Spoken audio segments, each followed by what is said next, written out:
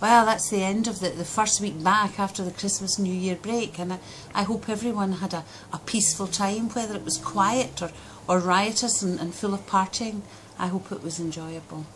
So, busy week again in Parliament. Uh, started off with the, the Welfare Reform Committee Tuesday morning. It's so difficult because I feel so helpless sitting in that committee listening to some of the changes that have been made in the welfare system or it's almost to me as if uh, the Conservatives and Lib Dems are trying to do away with the welfare system altogether. Um, absolutely ridiculous. When you look at the vote the other night, for example, the vast majority of MPs from Scotland voted against the changes in, the House of Commons, uh, but it didn't matter.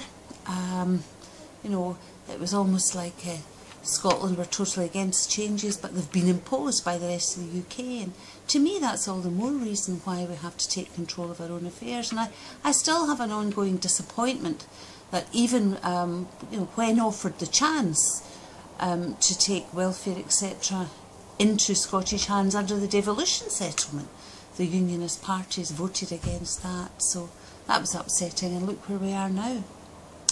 East Kilbride, of course, busy. Uh, moving on, I had a really good event today at the Optical Factory in East Kilbride, um, who have taken on to work experience. Young men, in fact, for four weeks work experience, both in the practical side of creating lenses, the selling of, of spectacles, but the other element of the work that's carried out uh, by the owner of the optical factory is the Sight aid International work that he does in Africa.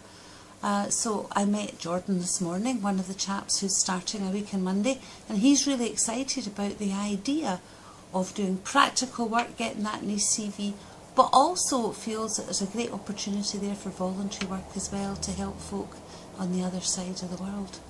So all in all, uh, a busy week to be back, uh, looking forward to more work ahead.